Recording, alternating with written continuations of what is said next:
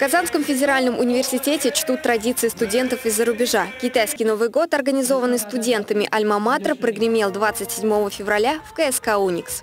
Первые пять дней Нового года предназначены для встреч. Родственники, друзья, одноклассники навещают и поздравляют друг друга с Новым годом. С наилучшими пожеланиями для китайских студентов выступил проректор Казанского федерального университета по внешним связям. В Казанском университете, как вы знаете, более 600 китайских студентов обучается.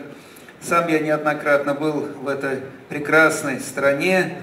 Мы гордимся Китаем, гордимся э, достижениями Китая. И каждый раз, когда мы празднуем китайский Новый год, мы, безусловно, становимся частью этой удивительной страны, удивительной культуры. По традиции студенты подготовили творческие номера для зрителей, порадовали исполнением песен на родном языке, а также поздравили друг друга с праздником. Диана Хайрулина, Владимир Нелюбин, Univer News.